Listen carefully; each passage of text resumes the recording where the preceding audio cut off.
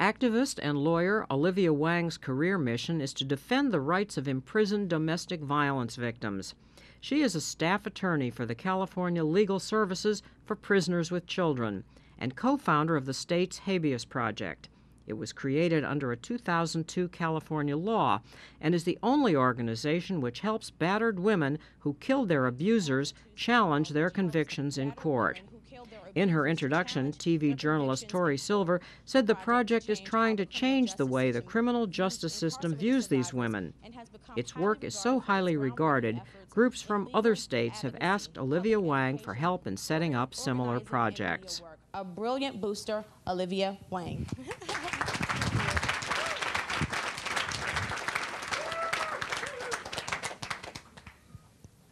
I believe that everyone deserves to love and to be loved.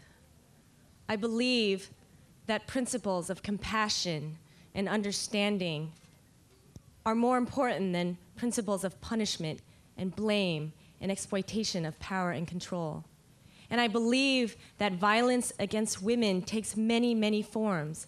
It's not just limited to physical and sexual abuse, and that we must confront all types of violence against women, including institutional violence as exemplified by the prison system.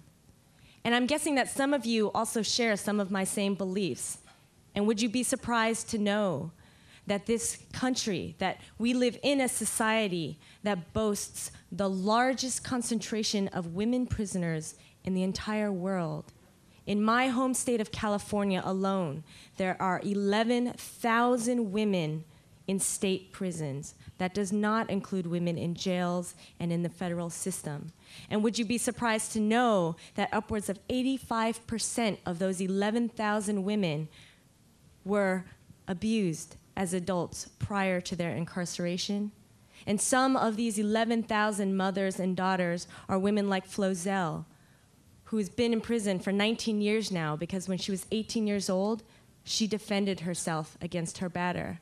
And some of these 11,000 women are women like Lori Sue, who's been in prison for 29 years because when she was 16 years old, her abusive boyfriend killed another woman and then pointed the finger at her.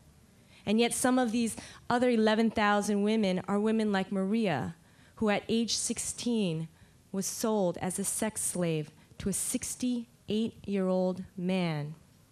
And after she served 21 years in prison, for her involvement in his death, she was immediately taken to a d- detention center where our government was trying to deport her, and we are still fighting her case today. To these women and to so many other thousands of battered women in prison like them, the California Habeas Project represents a glimmer of hope.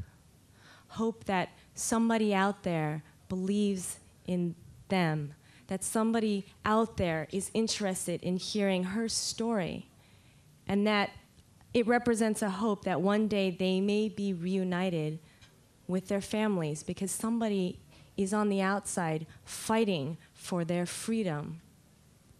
There needs to be a California habeas project in every single state. There is no reason why there is not a California habeas project in every single state we have virtually no staff, no funding, but we rely on a network of close to 200 volunteers up and down the state.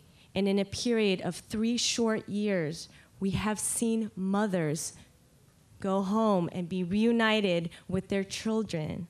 And we have seen new laws be passed. And we have seen an increase in the level of public understanding about the relationship between experiencing abuse and ending up in prison. Think of what more we could do with just a little bit of your support.